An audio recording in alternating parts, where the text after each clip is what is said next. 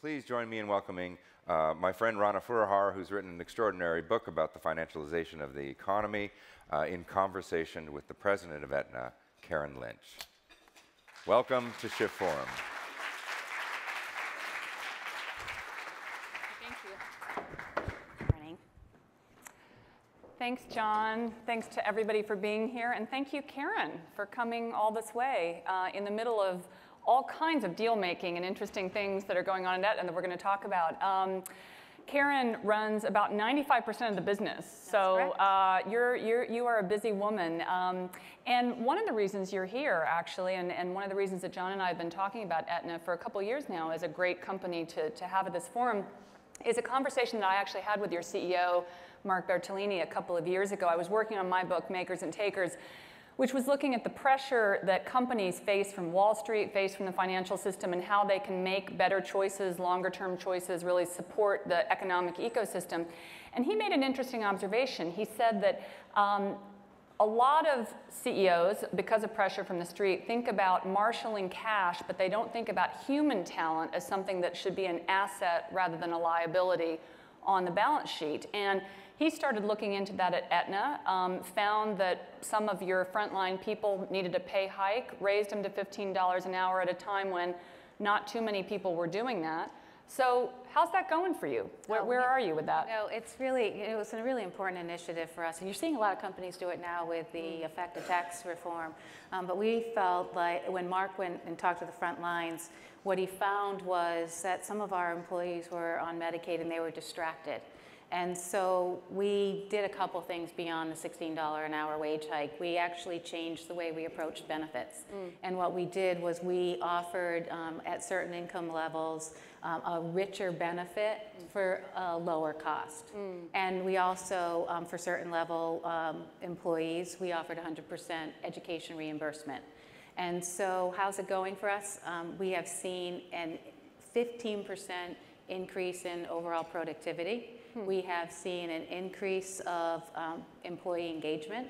And so, you know, generally speaking, um, it's been successful for us. But we don't look at that social compact just on wages and benefits. We actually extend that social compact to how we interact mm. with our members. And what we've done is we've extended our service uh, frontline leaders to have more decision making when they're on the front lines. Yeah. And we've also extended that to the communities. Yeah. And what we've seen is a lift in, you know, employee engagement in that social compact because what we're making a difference in the communities. So, for example, um, what we've done is we've really put a hard um, line in how we're um, working nationally on the opioid crisis. Mm. And we've also um, been investing in um, what we call our Healthy Cities Challenge, where we're taking um, you know funds and improving safety, improving, and we're doing it here in actually San Francisco, where um, we have bicycles and bike safety for kids. And what we're seeing is that social compact, when we extend it into the community in addition to sort of the wage and growth, we've seen a, you know, a lift in just employee satisfaction engagement. And it's been quite successful. It's interesting because, I mean, what you're talking about is, uh, is an ecosystem approach rather than, say, just a shareholder value approach. Exactly. And that is a, that's a big conversation right now. Um, Larry Fink, um, head of BlackRock, largest asset manager in the uh, country, came out famously a few weeks back and said, every company needs to be a purpose-driven company. But it's interesting, as I go around in my job and I talk to CEOs, everybody says, that's great, we agree, but what are the metrics now? So how do you find, as you're thinking about all the different things that you're doing, and we're going to get to the CVS um, merger in, in a minute, which I know is part of this, but as you're thinking about the decision making, how do you think now, I mean, shareholder value it may not have been correct, but it was easy. you know, all you have to do is boost the share price quarter on quarter. That's easy. How do you think now? What's the metric, and how do you um, make that uh, come to life in the real world? Yeah, so I think it, I, you know the metric um, piece is you know sort of elusive at this point. We really need to think um, more broadly about what that metric is. But I think there's more of what companies, and you know, the purpose driven is not just what the company stands for, but it's also about that corporate social responsibility. Mm. And you saw it today. You, you heard John talk about what Dick's is doing. And I think mm that companies have an opportunity now to take a leadership role in the communities and making a difference in how we're showing up to support the, you know, the sort of, in our, in our world, sort of support the health in, in the communities and support um, like that holistic approach. And you're seeing companies do it all the time. You saw Chobani, for example, take a big stand on immigration. You, you know, so you, you know, and I think it's important for all of us to have that social comp, uh, com- compass because I think you'll get better shareholder value because of because you are making a difference and because you're purposeful and because you're standing for something and you know what we're seeing is people want to the millennials want to engage with mm. companies that have that social purpose mm. and, and, and, and millennials want to work for companies that have that social conscience. That's interesting. So it's about, and that gets to the point about how, you know, we're in a world that's awash in capital right now. right. But human talent is what's really important, and particularly talent that can be as flexible and adaptable as you need to be in this environment. And to that point, let me ask you, I mean, one of the reasons that, that you couldn't come last year is that you were in the middle of a, uh deal, potential deal with Humana, which didn't go through. You're now in the middle of another deal with CVS, fingers crossed, Crossed, yeah. um, is, which is looking more likely. Uh, Talk a little bit about these deals and what they say about where the healthcare industry is right now. Why is there all this consolidation happening? Well, I think you have to think about where health healthcare is 18% of the GDP right now, and it's expected to grow to 25% of the GDP by 2025. And I think if you think about healthcare, it's ripe for um, to be revolutionized. And you're seeing every single other industry, you know, um, having consumers demanding a difference. And the healthcare industry is no different. Consumers are demanding something different. They're demanding affordability. They're demanding access. They're demanding transparency. And as you think about the healthcare industry, everybody's trying to go after those pieces. And you, you know, you saw the Amazon, Of course. um, you know, Berkshire Hathaway, and I think everyone believes there needs to be fundamental change in healthcare. But you said an interesting word. It's an ecosystem, and it can't just be one. It can't just be the insurers. It has to be the consumer. It has to be the pharmaceutical companies. It has to be the payers. It has to be the providers.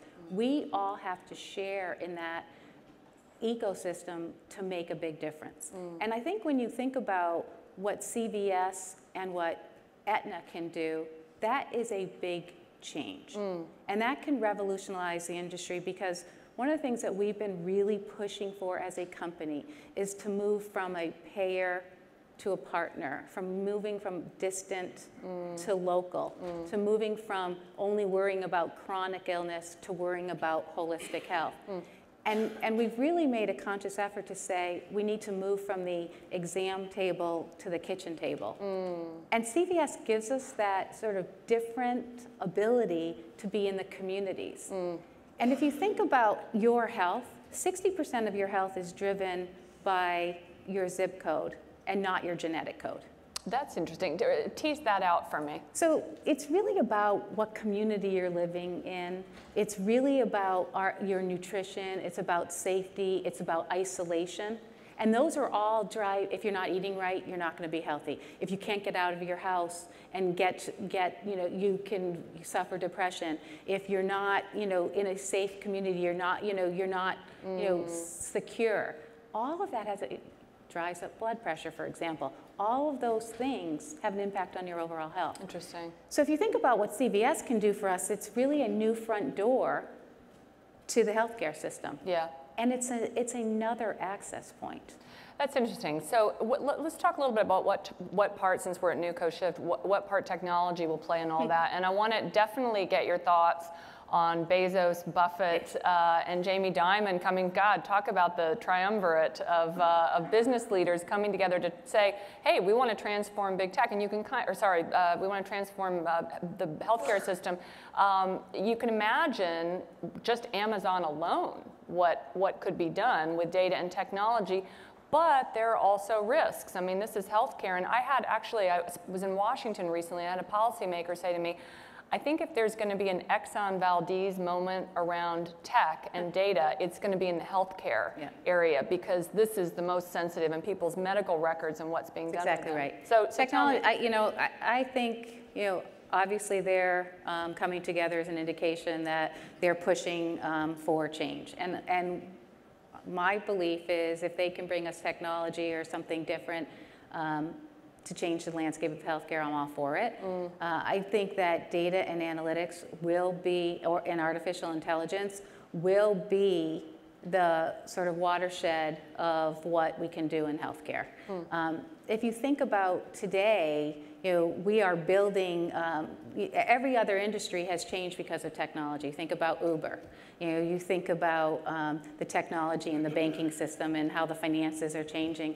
We haven't seen that um, technology advancement yet in healthcare, and it's necessary and it's needed.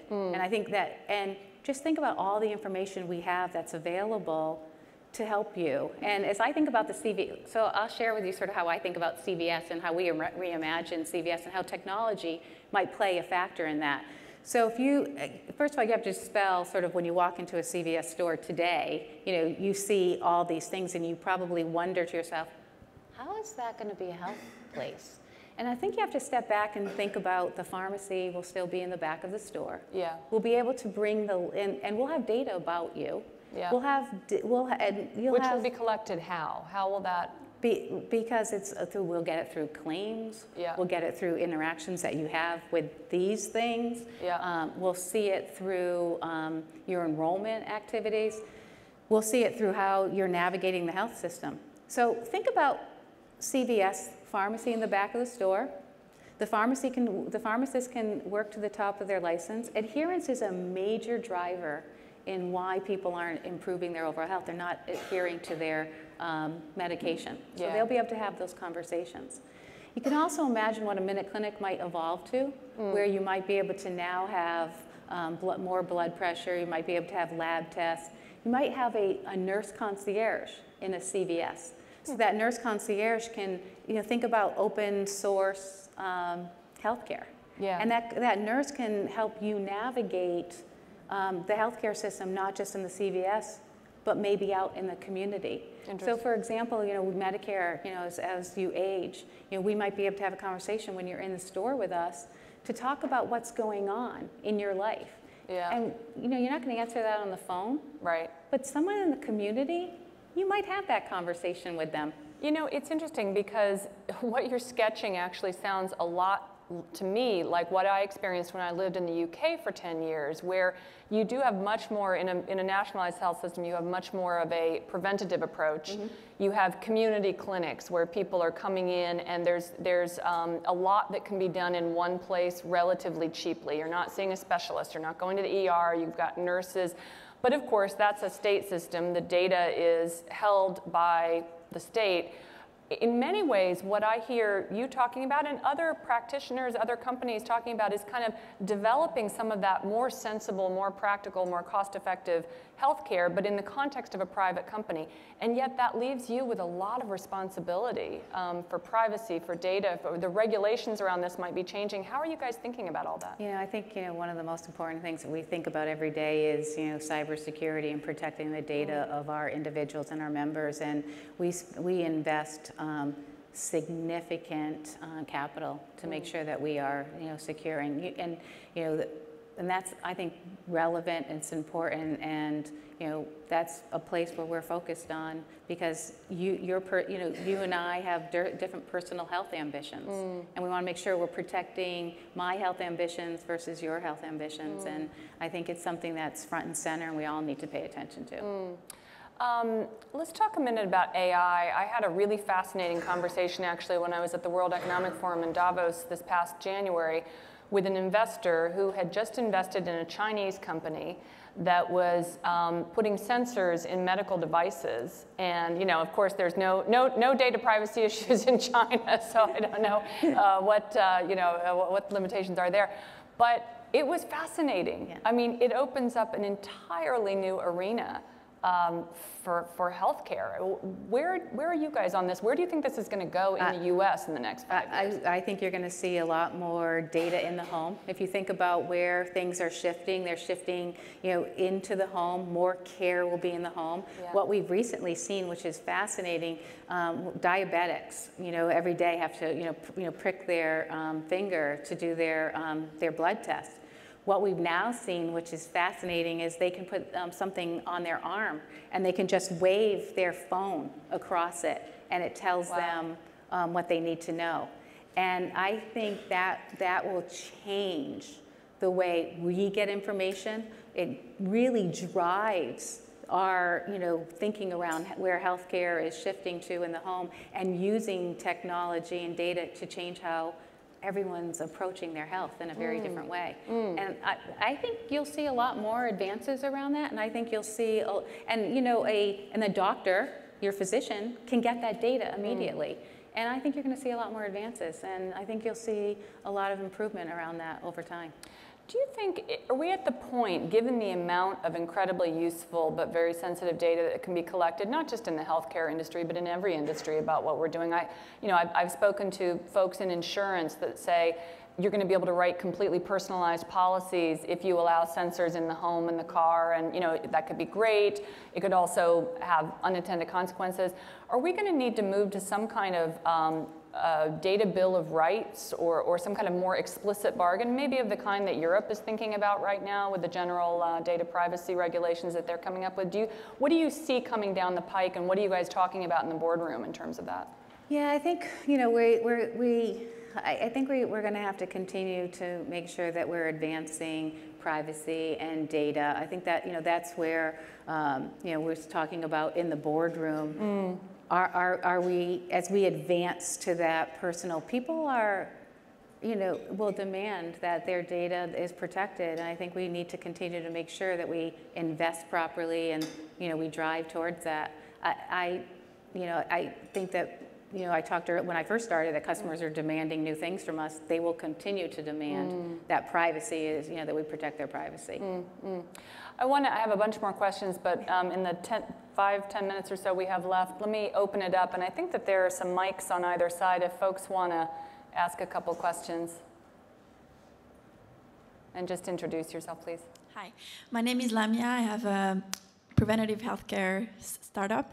So my question is, what it, what does it take for insurance to start um, shifting dollars from reactive care to pre- preventive care, but not more into uh, like in how can you get carrots reimbursed? How can we how can we get to the food reimbursements, and what does it take in terms of data for insurance to seriously consider that as an option? Yeah, we, we are very focused on preventive um, care. We spend a lot of time, I mean, we, because we believe that health starts with preventive care and, you know, do a, a fair amount of reimbursement relative to preventive care. So that's core to our strategy. It's core to what we do every day. Um, because I think if you think about your health, the more you can spend time on the preventive then we're not spending time on the chronic pieces. And then obviously we're, you know, continuing to reimburse on the chronic side as well. Does that mean that a meal can be reimbursed, for example, for someone who has prediabetes? Uh, well, we haven't gone that far yet, but it's something that, you know, we should be looking at. And we're looking at kind of our broad um, portfolio and, and sort of re- reinventing how we think about benefits. It seems like a natural question as, um, as health gets de-siloed, because that's what you're talking about. It's not just about, you know, what, what happens when the doctor draws your blood. It's what kind of day did you have? What stresses are you under at work? What, And can you can we figure out how to have a personalized health plan, personalized Yeah. plan, so that you get to pick and choose what you want for sort of coverage and reimbursement, Right. which is very different because now it's very broad. yeah, okay, thanks for the question. Gra- Get one more in. Hi, I'm Ron Stoltz. Um, so I wanted to address the ecosystem question. So I'm an old guy who's about to uh, moving into old. the de- well, I'm pretty old. Uh, better- I look younger than I am. Uh, Good- to good consu- healthcare. to Consume a lot. Yeah, that was my point, and the question that I have. Uh, so I've been a PPO and an HMO member alternately through my life. But here in Northern California, a large percentage of people are members, they call them members, of the Kaiser Permanente system. Uh, as, and so my question is, and it was prompted by the trial balloon that, that Kaiser floated that they're going to establish their own medical school. And that was a shot across the bow as far as fleshing out their ecosystem. So I just wondered if you looked at the Kaiser model and do you see it as a side by side with the PPO insurance model that you know part of your industry? And how do you view uh, the Kaiser system uh, vis-a-vis a more private or PPO system? So I, Ki- I, you know, we obviously look at the Kaiser system, and it's been a very successful. I look at the Kaiser system as a holistic um, healthcare. And as you think about what we're doing with CVS and where we're advancing our strategy, we're thinking more broadly in, in that regard as well. We're coming at it from the consumer and you know kind of how consumers want to engage in their health and in their healthcare system and kaiser's looking at it from a, um, a delivery system um, perspective and so they're delivering care and we're looking at it from an access to care Do you see them as a threat? um, I think the whole industry is um, revolutionized. I think that you know Kaiser has been exceptionally successful in California, um, but we haven't seen sort of them in the broader um, country. But I look at all kind of healthcare as I think there's opportunities and I think there's threats as well. You know, it's interesting because that raises the point too that um, healthcare is, is relative to any other country uh, quite fragmented in the U.S., quite local, fragmented along state lines, much more Exactly so than, than other countries. Okay, we'll take one last question and then. Hi, my name is Jan D'Alessandro. I have a consulting business. Um, my question for you is that I'm starting to see, you know, one of the major problems that we have in this country, in addition to the healthcare crisis, is financial crisis. That you know, over 80% of Americans are retiring at or below the poverty level. They're not um, in, encouraged to save. So I'm seeing a lot of companies start to implement financial wellness programs side by side with their health, health and wellness programs. And I'm wondering if you see any opportunities to partner, and if so, I have a client I'd like to discuss with you. Well, we can certainly discuss that. Deal Um, making is e- happening. Exactly right, and, and we do, and we think about it more broadly. As part of our uh, overall um, uh, employee, uh, we call it our EAP, we have financial programs and financial wellness, and we also, as part of our social compact, implemented uh, reimbursement for um, college tuition, and so we are spending time, and we believe in that broader it's that holistic care of health, wellness, financial, and emotional stability, and looking at a person holistically, and that's how we're thinking about it. Okay. I'll email you about Chime Bank. Oh, okay. well done, well done. Okay, so we're, we're basically out of time, but let me just ask you one final quick question to wrap up. Um, I, I have to say, I kind of dread healthcare in America, um, having lived in, in the UK for 12 years where it was just easier. I mean, you obviously have an incredibly bifurcated system. You can get the best cutting edge care here, but there's a big gap in the middle. Is that gap going to go away in the next three to five years with what Buffett and Dimon and you guys are doing? I mean, are we going to have a profoundly different system or is it going to be incremental? I think we're going to make changes. I wouldn't say it, was, it will be huge in the next three to five years. Healthcare will evolve and emerge, and I think you'll see good progress. But it won't. But I think it'll take us a little bit longer than that to do it. Okay. All right. Well, Karen, thanks for Thank being you. here. Thanks for everyone's questions.